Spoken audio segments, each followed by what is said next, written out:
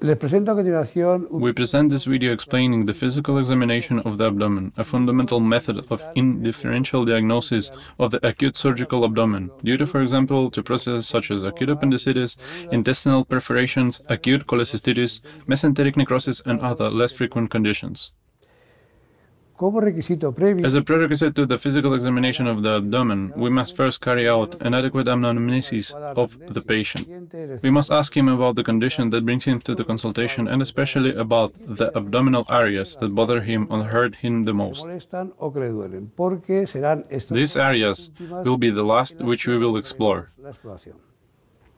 También es importante An adequate emptying of the urinary bladder is also essential to avoid confusing the bladder with abdominal cysts or other types of abdominal tumors. de otro tipo. Y también fundamental Also, essential is the explanation of the maneuvers that we will perform on the patient, because in this way we will gain their confidence and promote an intense relaxation of abdominal wall muscles. músculos de la pared abdominal. La metodología We start the exploratory methodology with the inspection, eh, which we will do with the patient standing up, the auscultation, percussion, and superficial and deep palpation. ¿Por qué lo realizamos así? Porque It's organized in this way, the auscultation prior to the palpation and percussion, to avoid generating abnormal noises that may confuse the picture that the patient brings. que en definitiva nos van a confundir con el cuadro que trae el paciente. Por lo tanto, Therefore, we start with inspection, auscultation, percussion, and palpation. y como digo, We begin therefore the abdomination examination with inspection. con la inspección. Con la We ask the patient to breathe in and out slowly. y exhale con lentitud. Otra vez, con la boca entreabierta. Una vez más. Again, Bueno, con la boca entreabierta, ¿eh? las dos, cuando, cuando inspire también. again with open mouth.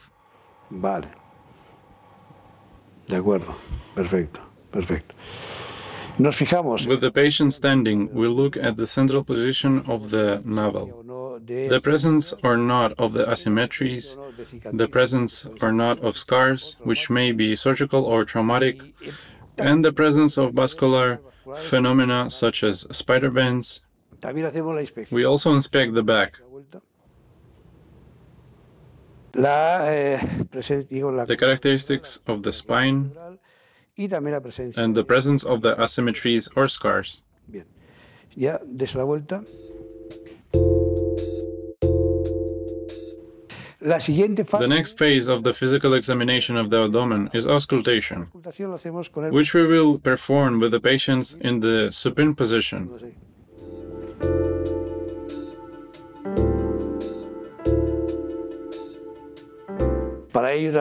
We can employ a pillow or knee level to further facilitate the relaxation of the abdomen. relajar el abdomen, bajes un, baje un poco más. Bien. La exploración de los ruidos Auscultation of air fluid sounds begin with the left iliac fossa y vamos a hacer and ascends counterclockwise agujas del reloj. vacío. versus the left vacuum, Izquierdo, left hypochondrium, zona epigástrica, epigastric area, hipocondrio derecho, right hypochondrium, vacío derecho, right vacuum, fosa ilíaca right iliac fossa, and región periumbilical region.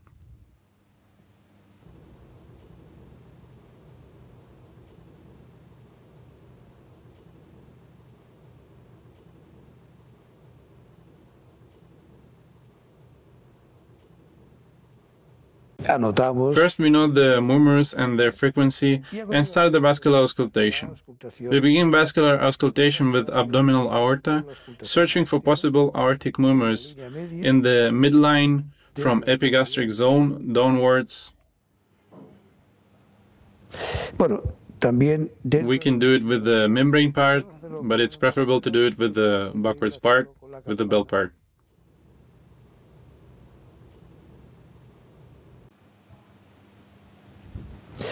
La línea aórtica va hasta la parte inferior del ombligo. Ahí we finished the exploration in infraumbilical zone. Los soplos aórticos. La exploración de los sonidos de las arterias Auscultation of the renal arteries is performed by imagining the transverse line y en esta at the height of 2 centimeters above the navel. Nos vamos a la parte izquierda y nos detenemos fundamentalmente and we stop the intersection of this line with the costal line. que es el punto de mayor This point is the sharpest focus uh, for renal murmurs tanto en el lado izquierdo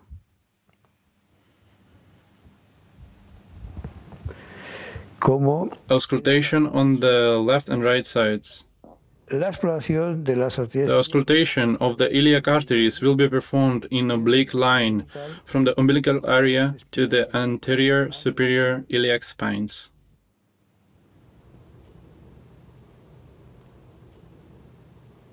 y la exploración de los sonidos de The las femoral artery murmurs are explored in the inguinal folds. las realizamos en los pliegues inguinales, en la zona inguinal, tanto derecha on both the right and the left sides. como izquierda, fundamentalmente digo en la zona inguinal, la auscultación de las arterias femorales. También podemos hacer la auscultación pues, In addition, auscultation of the mesenteric arteries will be carried out more diffusely in the periumbilical areas.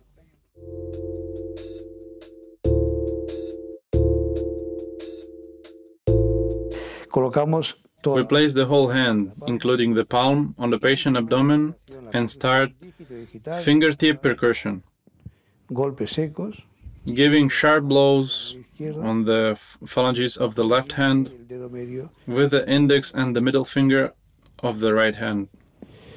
en toda esta zona, We will start on the left. It is in this area, a tympanic percussion. Percusión timpánica, en definitiva, That is, we are percuting aerial areas with the presence of gas inside viscera.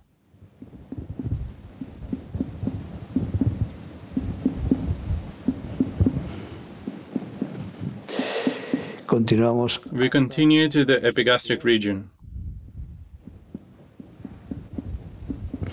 We also percuss the lung bases left,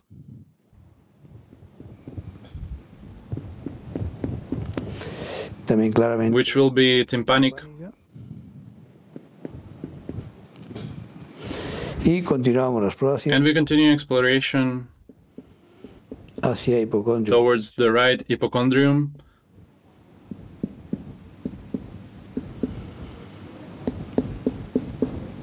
hasta el borde. Up to the right costal margin. vacío derecho, Right void,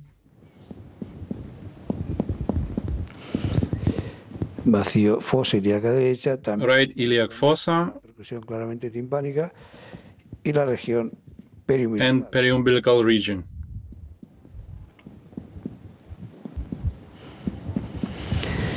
también timpánica.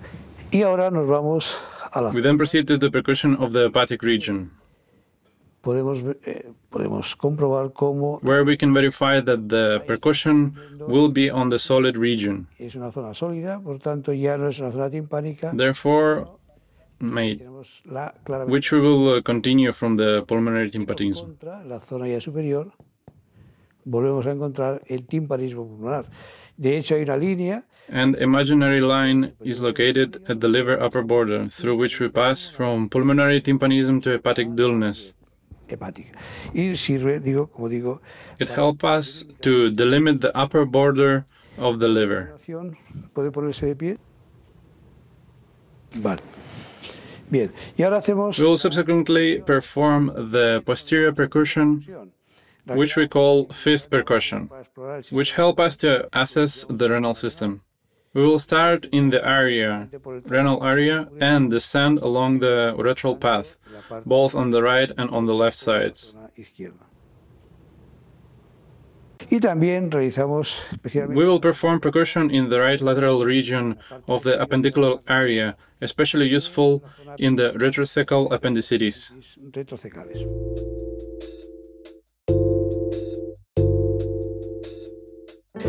Dentro de la palpación hablamos In palpation, we will uh, first perform superficial palpation of the abdominal wall, then the deep one. o bimanual. Supone utilizar sen- Superficial palpation can be monomanual or bimanual. y entonces voy realizando una We will support the whole hand and carry out the palpation of no more than 2 centimeters deep through the abdomen so that we can try to see painful points on the wall or tumor areas.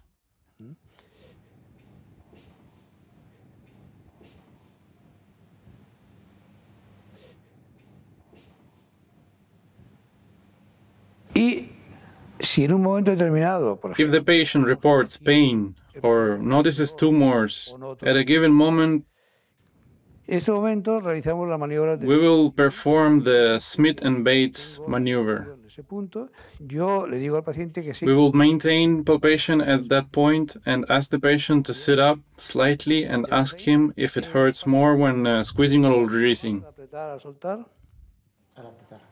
Bien, en ese caso, si le duele más al apretar, If it hurts more when uh, squeezing, it usually indicates a muscle tear in the superficial region of the abdomen.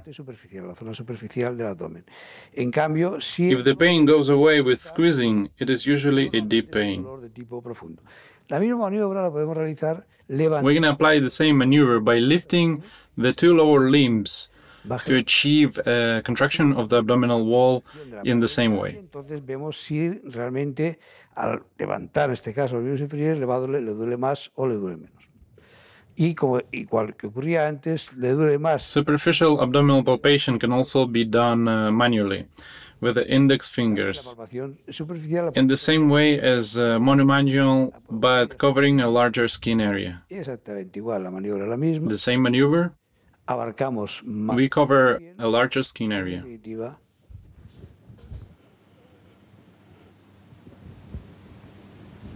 Igualmente podemos realizar la palpación superficial, monomanual o bimanual.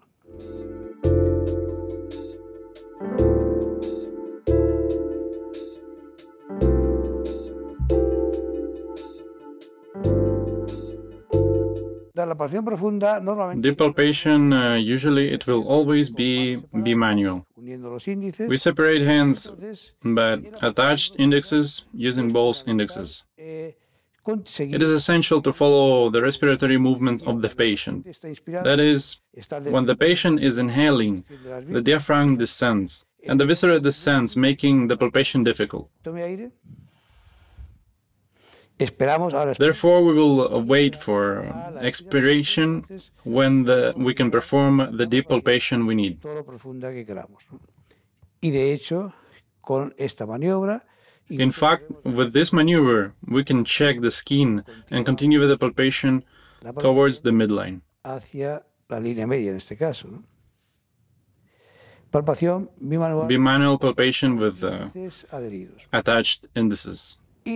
Y la palpación más usada Palpation with overlapping hands, in which we be being right-handed. We will uh, now use the right hand on the bottom and the left hand on the top. es la que The lower hand is the one that is going to feel, and the upper one is going to help us to push. relación profunda, en The deep palpation in this case will be performed in the same way, taking into account the respiratory movement of the patient. momento espero y ahora al expulsar yo puedo profundizar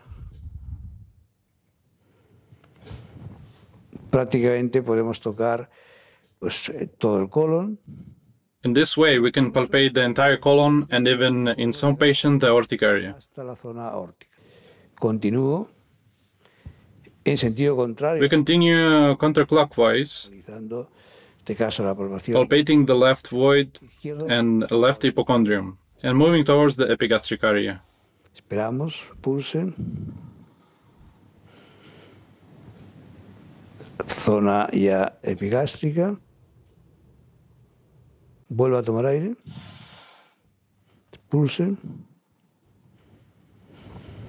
vale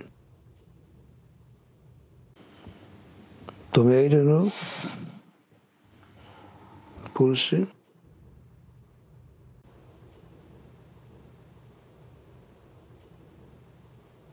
tome aire We always start the palpation in the area opposite to the side where the pain refers. paciente, donde nota las molestias.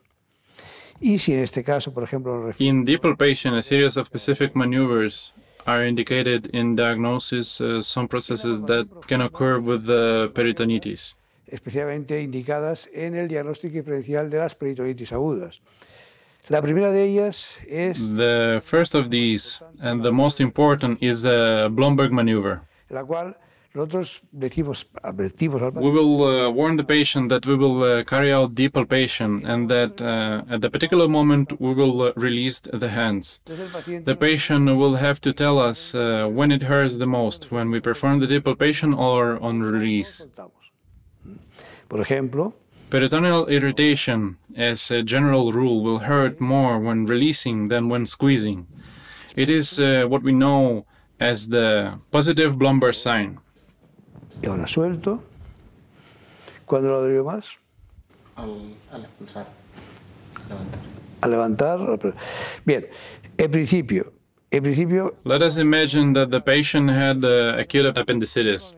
We will start in the right iliac fossa, wait for expiratory phase, and proceed to go deeper. Release, and then the patient will tell us if it hurts more when squeezing or releasing. caso en fosa ilíaca derecha, tome aire, esperamos a la fase expiratoria, expulse, y ahora profundizamos,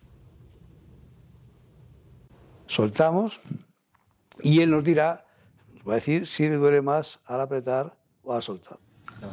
Al levantar, bien, en el caso de las peritonitis agudas, como podemos In the case of acute appendicitis, we will cause more pain when releasing than when squeezing. al hacer ese movimiento de soltar rápidamente las manos, es cuando realmente le duele. Este sería, si le doliese más al soltar las manos, sería el It would be a positive lumbar sign. In addition to the sign, there is another interesting maneuver located just uh, in the opposite part, in the left iliac fossa, izquierda, la cual yo hago where we will perform the deep which we later release.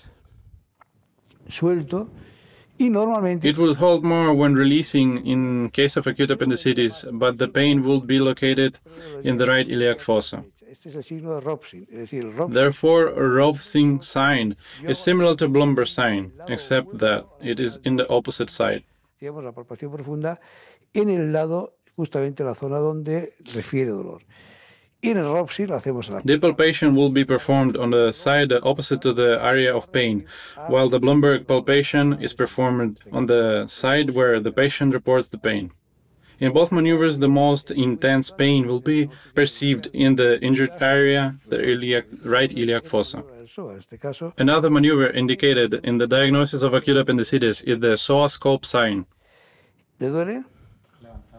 We will ask the patient to raise the right lower limb and ask uh, whatever it hurts more, with the lower limb raised or not. In case of acute appendicitis, more pain will be noticed when lifting the lower limb.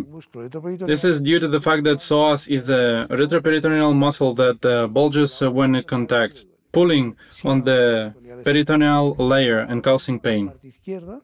In case of appendicitis, the left psoas maneuver, raising the left lower limb, would hurt in the right iliac fossa.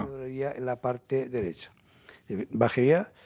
Y hay otra maniobra, There is uh, another maneuver less interesting though, uh, which is uh, the shutter maneuver. entonces es una The examiner performs this maneuver, flexing the patient knee and uh, internally rotating the hip. si tuviese una peritonitis, Also, in this case, uh, he will refer uh, to pain in the right iliac fossa if there was appendicitis. This maneuver, however, is less sensitive than the psoas maneuver.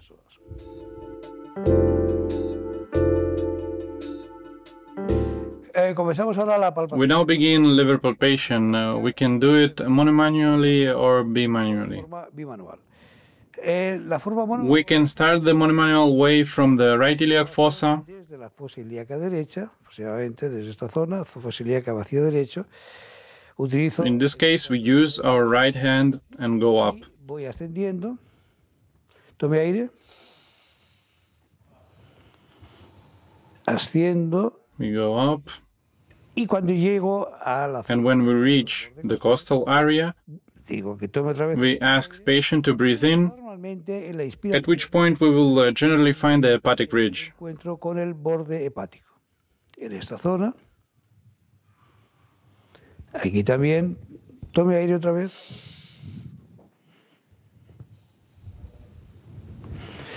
Continúo la exploración. No Then we continue the exploration of epigastric area and the areas of the left hypochondrium through the entire length of the liver.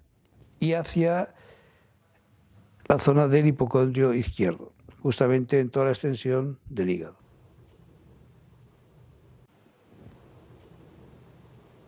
Igualmente existe eh, colocado también en la parte derecha del paciente There is another maneuver in the monomanual palpation of the liver, called the spoon maneuver, la cual yo colocaré in which we will uh, place the hand la zona superior on the upper part y colocaré los- and the fingers on the costal margin. igualmente Likewise, in the same position uh, with the maneuver of the metacarpophalangeal joint, we will uh, tell the patient to breathe in. Y efectivamente And indeed, at that point, the liver edge will hit our fingers. y directamente choca el borde hepático sobre mis dedos. También sigo la exploración We continue this exploration towards the epigastric area expulse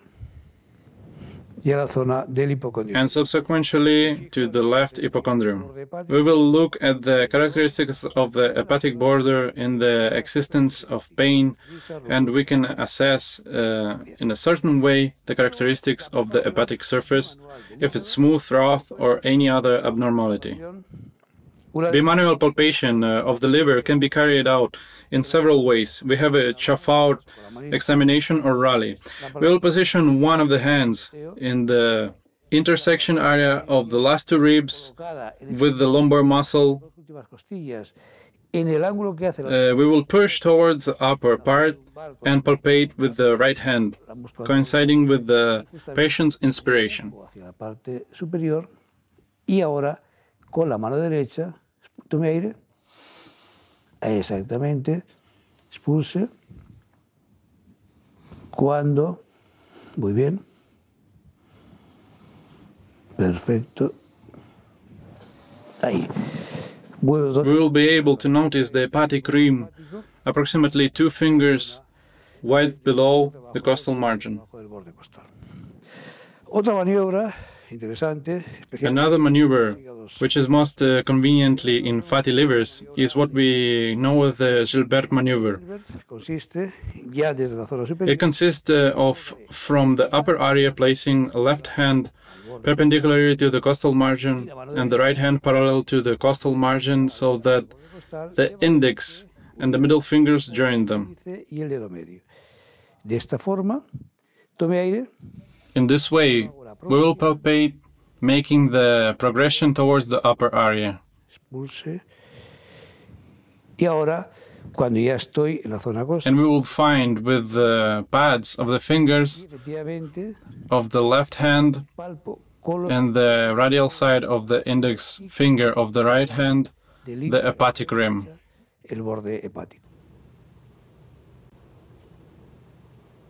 El borde hepático. Es la maniobra de Gilbert, digo, interesante en el hígado graso. Y otra, la maniobra de Another maneuver is the hook maneuver, the most used Matthew hook. este With both hands, with the index hooked, also from upper area of the patient, porque engancho los dedos, los índices, y aquí es la maniobra de Mateo. Entonces tome aire. Empezamos más abajo, tome aire. we will explore rhythmically with the patient's respiratory movements. Muy bien. Otra vez. Ya digo, los pulpejos paralelos al borde, costal. With the pads parallel to the costal margin, the liver edge. tanto el borde hepático como la superficie hepática.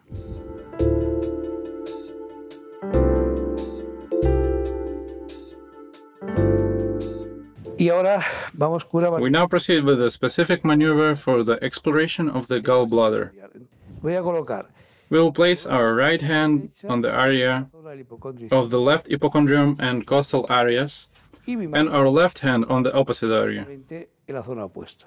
Y entonces, When taking a breath, we would locate the gallbladder at the point with the both thumbs ahí en la in the area lateral to the anterior rectus, approximately in the midclavicular line.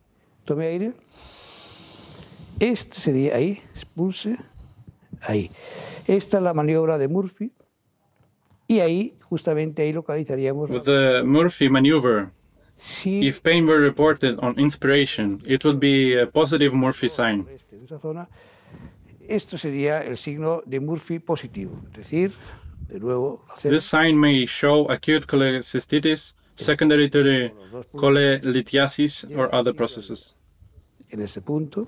Maniobra de Murphy, signo de Murphy As we said before, as we explore with the Murphy maneuver, en ese punto. this uh, positive Murphy sign indicates cholelithiasis or cholecystitis. secundaria colelitiasis u otro proceso. La palpación del bazo The palpation of the spleen has a fundamental maneuver that is a rally. del peloteo. Vamos a colocar al First, paciente en de- We will place the patient in the intermediate lateral decubitus position hacia la parte anterior de towards the interior manera que ahora so that with our left hand placed in the posterior region, lo que haré es intentar we will try to send the spleen, hacia la zona anterior, which is uh, a very posterior position, to the anterior part. Parte superior. Tome.